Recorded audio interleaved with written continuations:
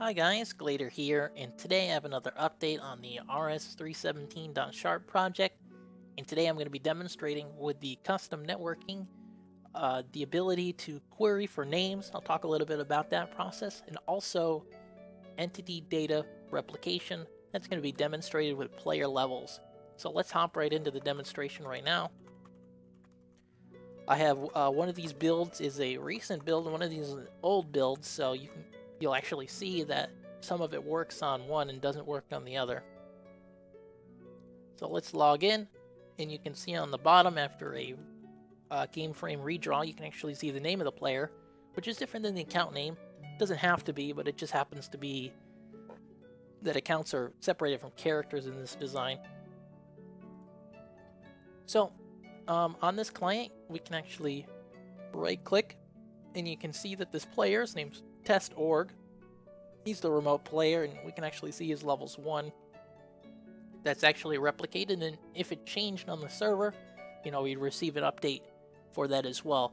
Uh, it doesn't work anything like the RS-317 protocol. It works basically like Quake as well as World of Warcraft because it's, but uh, they based it on Quake as well. Highly inspired from that. The low-level API exists for replicating entity data like this efficiently, basically sending deltas but uh, the, the high level API to high, sort of hide that doesn't exist yet.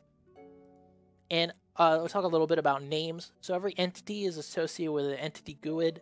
Uh, it's globally unique, and you basically are never never address entities by name. You address them by the GUID. And so when we actually encounter this, you can think of it almost like the PID, but it's 64-bit.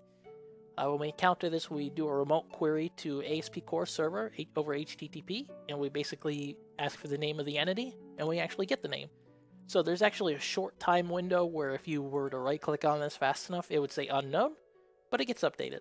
And then you'll eventually see the player's name. This is significantly more efficient, and a better way to do these sorts of things, and it's how World of Warcraft handles names. So that's pretty much it for this demonstration. I'm going to go ahead and work on uh, skills.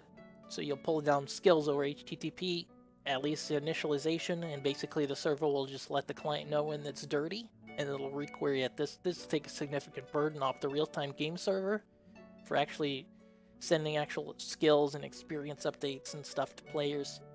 So you know that's that's gonna be a good thing, and I'm gonna do that soon. But that's it for this video, guys. Thanks for watching, and I'll see you in the next one.